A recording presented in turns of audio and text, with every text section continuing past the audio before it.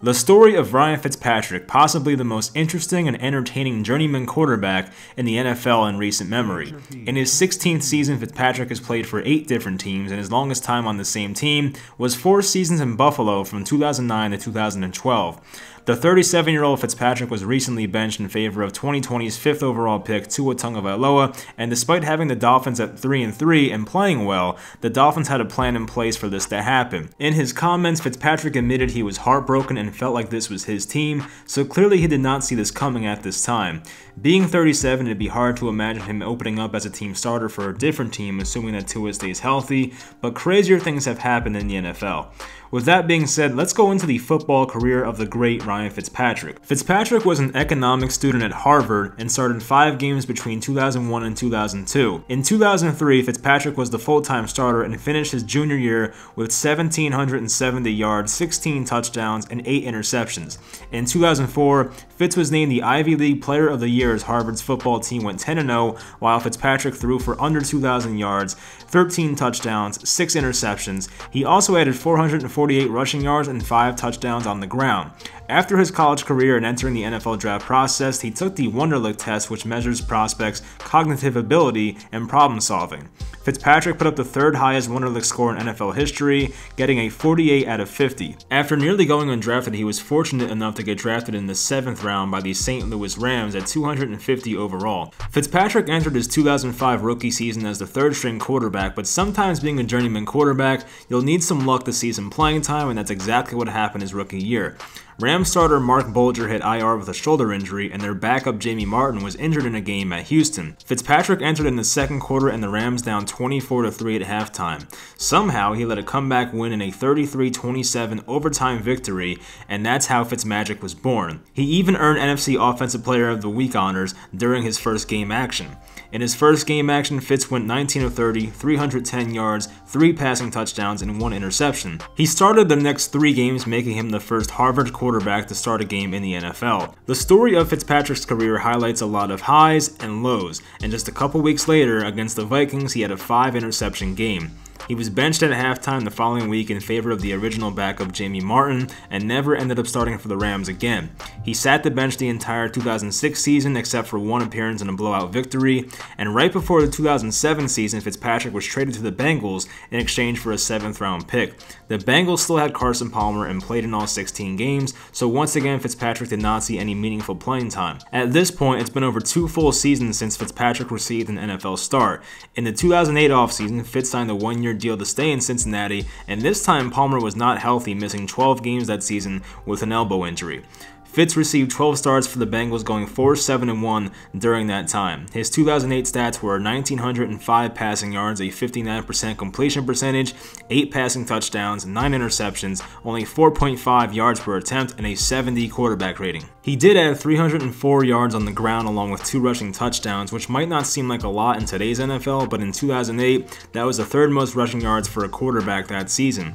Obviously, the Bengals missed the playoffs that season, but on the bright side, his 12 game showcase earned him a three year, $7.4 million contract with the Buffalo Bills. The Bills were coming off a 7 9 season, last place in the AFC East, but they had 26 year old quarterback Trent Edwards as their starting quarterback. Edwards was a former third round pick but had his struggles in the NFL up until that point.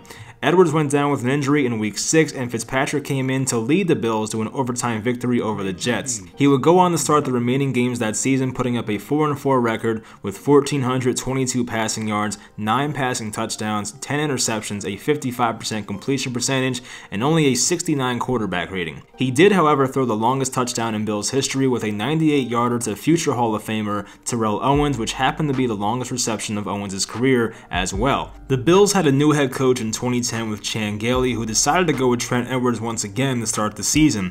The Bills started 0-2 and Edwards was quickly pulled in favor of Fitzpatrick. This was the first year where Fitz showed consistent success throwing for exactly 3,000 yards, 23 touchdowns, and 13 starts. The Bills finished with a record of 4-12, but Fitz went 4-9, which I guess is a little better. This was the same season of the infamous Stevie Johnson drop touchdown in overtime versus Pittsburgh in an eventual loss, which pretty much highlighted the Bills' 2010 season in a nutshell. The good news for Fitzpatrick is that the next year he finally showed enough to be named the Week 1 starter after 5 seasons in the NFL at that point. 2011 had its ups and downs like any typical Fitzpatrick season, where he led the league in interceptions with 23, but also threw for 24 touchdowns. He did set new career highs in passing yards with over 3,800 and a completion percentage of 62%. The Bills did have an exciting start to the year, going 3-0 and eventually 4-1. In week 3, they had one of their biggest wins in years in a 37-34 victory against the division rival Patriots. Fitzpatrick earned AFC Player of the Month honors in September, and a few weeks later inked a six-year, $59 million extension with the Bills. Eventually, the team and Fitzpatrick came back down to earth, and they went 3 and 10 the rest of the way to finish at 6 and 10 on the year. The contract, while it looked good, was easy for Buffalo to get out of, and Fitzpatrick would see the consequences of that sooner than later.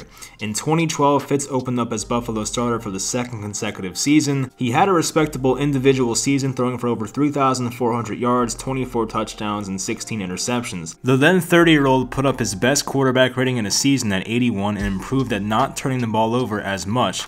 However, Chan Gailey was fired as Buffalo's head coach, and all of a sudden Fitzpatrick's future as a Bill seemed a bit bleak. In the 2013 offseason, Buffalo got out of Fitzpatrick's contract and released him to later draft future bust EJ Manuel, 16th overall, to take his place. Fitzpatrick landed in Tennessee on a two-year deal to back up Jake Locker, a former 8th overall pick in 2011's draft. Locker had shoulder surgery the previous season and hadn't proven anything in the NFL in his 16 games up until that point. After a week 4 injury to Locker, Fitzpatrick stepped in later in the game and only had 8 pass attempts but threw a 77 yard touchdown to wide receiver Nate Washington.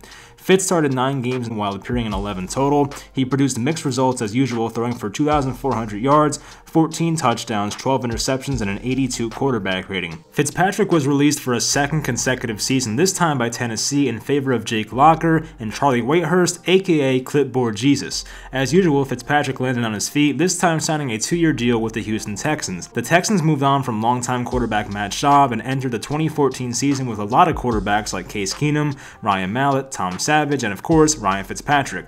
This was the first season of Bill O'Brien in Texas, and he actually named Fitz his Week 1 starter in 2014. He did not play that badly that season, but was benched in early November in favor of the younger Ryan Mallett. Mallett would sustain a pectoral injury just a few weeks later, so then it was back to Fitz. Fitz had a big FU moment to his former Titans team from the season prior when he tossed all over them for a franchise record 6 touchdowns, along with 358 passing yards and a 147 quarterback rating. He was the AFC Player of the Week but sustained a season-ending injury in mid-December, missing the last couple starts of 2014.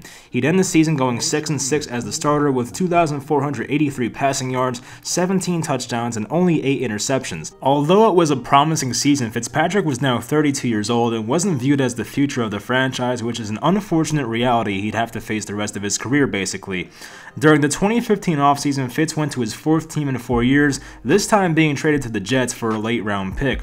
The expectations were for Fitzpatrick to be a backup to former second round pick Geno Smith, but as we know, sometimes Fitzpatrick ran into some luck for opportunities during his career. It's funny because in many cases, backup quarterbacks rarely see the field and maybe get to play a few games at most if they're lucky. In Fitzpatrick's case, he defied the odds, always ending up on a team where the quarterback position was always in question or the guy in front of him seemed to get hurt just about every time. Anyway, this incident outweighs the rest as Jets presumed starter Geno Smith was punched in the face by his own teammate in a locker room altercation, suffering a broken jaw and missing the early part of the season. Fitzpatrick was then given the nod to be the starter in place of the injured Smith and even got to reunite with his former Buffalo head coach Chan Gailey, who is now the OC for the Jets. 2015 was arguably the best season of Fitzpatrick's career, and the 33-year-old who was only supposed to be a backup started all 16 games, leading the Jets to a 10-6 record. He put up an impressive 3,900 passing yards, a career-high 31 passing touchdowns, and 15 interceptions. The Jets with the combination of Fitzpatrick, Eric Decker, and Brandon Marshall were a scary offense for opposing defenses that season. The Jets entered a Week 17 game at Buffalo, one of Fitzpatrick's former teams, with a chance to earn a playoff spot with a win. The Bills were 7-8 and technically had nothing to play for, but due to the fact that Buffalo's head coach was former Jets head coach Rex Ryan, you can imagine he had his guys fired up to play that game. And fired up they were as the Jets, in typical Jets fashion, lost 22-17 behind a 3-interception performance by Fitzpatrick himself. The Jets were on a 5-game winning streak, rattling off some impressive victories in that stretch, including a Week 16 overtime win versus the Patriots, but the Bills found a way to put an end to the Jets season. Fitz was without a contract in the 2016 offseason, and there was a long standoff between him and the Jets front office. Most teams had their quarterback situation settled, but the Jets needed a quarterback and Fitzpatrick still needed a team. Fitz earned himself a $12 million fully guaranteed deal for one season, but this time around it did not go nearly as well. In 2016, the Jets went from 10 and 6 to 5 and 11, and nothing about Fitzpatrick looked the same as the season prior. He put up a disappointing 12 touchdowns and 17 interceptions, a 56% completion percentage, and a quarterback rating of 69. The season started off okay, going 1 1, and Fitz even won AFC Offensive Player of the Week in Week 2, but Week 3 is when the bottom completely fell out. The Jets had a staggering 8 turnovers against Kansas City, including 6 Fitzpatrick interceptions. They would lose that game 24 3, and next week Fitz had 3 more interceptions against Seattle, giving him 9 interceptions in a 2 week span. Yikes. He had some decent games and was eventually benched for the younger Bryce Petty towards the end of the season. Everyone knew his Jets career was over, and that was made a reality when the Jets avoided his contract at the end of the 2017 season. In that 2017 offseason, Fitzpatrick later admitted that he was on the brink of retirement, saying that 2015 was very fun, but 2016 was the toughest year of his career. He claimed that he came back because he still enjoyed playing and received a one-year deal from Tampa Bay to back up former first overall pick Jameis Winston. Fitz was now 35 at this point and seemed like the next veteran quarterback to flare out of the league after a disappointing 2016 season the last time he played. Well, the best was yet to come apparently as Fitzpatrick replaced an injured Jameis Winston in week 6 after a shoulder injury. He finished that game throwing for nearly 300 yards and 3 touchdowns, but did throw 2 interceptions in an eventual loss versus Arizona. Fitzpatrick and Jameis Winston were subbed in and out throughout the season, but Fitz played well during his time on the field. He played in 6 games in 2017, only starting 3, but went 2 and 1 in that time with a 7 3 touchdown to interception ratio an 86 quarterback rating and averaged only 183 passing yards per game. The Bucks finished 5 11 in 2017 and obviously missed the playoffs. In 2018's offseason, Fitzpatrick signed another one-year deal to stay in Tampa, but this time lucked into some playing time as he often did throughout his career. The projected starter for the Bucks, Jameis Winston, was suspended by the NFL for 3 games for a prior incident that happened a few years ago. Fitzpatrick was named the temporary starter and looked to have a 3-game showcase to show himself once again before Winston returned. In week 1 at New Orleans, the Bucks were over 10-point underdogs and Fitzpatrick and the Bucks offense exploded for 48 points and an 18-point victory. Fitz threw for over 400 yards, 4 touchdowns, a near perfect 156.3 quarterback rating, and even a rushing touchdown and no turnovers. In week 2, he put up another great performance, throwing for over 400 yards again with 4 touchdown passes and a win over the Eagles. Week 3 was a primetime home start against the Steelers, and while Fitz started out very slow, he almost led a late game comeback but fell short by 3 points. Although it was a tough loss, Fitzpatrick became the first player in NFL history to open up the season with 3 straight 400 plus yard passing games. In week 4, Winston was eligible to return, but based on the team's 2-1 start and Fitzpatrick off to a great start, head coach Dirk Koetter decided to go with the veteran Fitzpatrick instead. Well, as it typically goes, Fitzpatrick's hot streak came to a crashing halt and was benched a little after halftime for Jameis Winston The week he was eligible to return. The Bucks quarterback situation in 2018 was a game of musical chairs as Winston and Fitzpatrick each started over 7 games and while each guy showed moments of brilliance, they always came back down to earth and ended up being benched for each other. In his 8 games played, Fitzpatrick finished 2018 with over 2,300 yards, 17 touchdown passes, 12 interceptions, a 100 quarterback rating, and an NFL leading 9.6 yards per attempt which really showed his downfield and aggressive style and how it paid off many times that season. In 2019's offseason, Fitz was not retained by the Bucks, but he did land a two-year deal not too far away with the Miami Dolphins. The Dolphins had just traded away their starting quarterback Ryan Tannehill, but did trade a second-round pick for a top 10 pick in 2018's draft in Josh Rosen. The expectation was that Fitz would be the placeholder until Rosen was ready to start, and while that was somewhat true, it did not go initially as planned. Fitzpatrick started the first two weeks and they were some of the worst losses you could possibly have as a team, losing by a combined score of 102 to 10 in the first two games games. Rosen drew the Week 3 start against Dallas and started the next two games after that. After an unimpressive three-game showcase, Rosen was benched in favor of Fitzpatrick for the rest of the season. The Dolphins started off the season so badly that some thought this might be an 0-16 team. However, they picked up their play down the stretch, finishing the last 9 games at 5-4, ending the season with a 5-11 record. Fitzpatrick had over 3,500 yards, 20 touchdowns, 13 interceptions, a 85 quarterback rating, and 62 completion percentage in his age 37 season. In this past year's 2020 offseason, Fitzpatrick decided to come back again despite some people thinking he would call it a career. Miami selected quarterback Tua Tagovailoa 5th overall in the 2020 draft, but coming off major hip surgery and being a rookie, the Dolphins wanted to wait for the right time. Fitzpatrick has played really well in 2020, especially lately, having the Dolphins at 3-3 and currently on a two-game win streak. As we know now, the Dolphins announced over their Week 7 bye that Fitzpatrick would be benched in favor of the rookie Tua.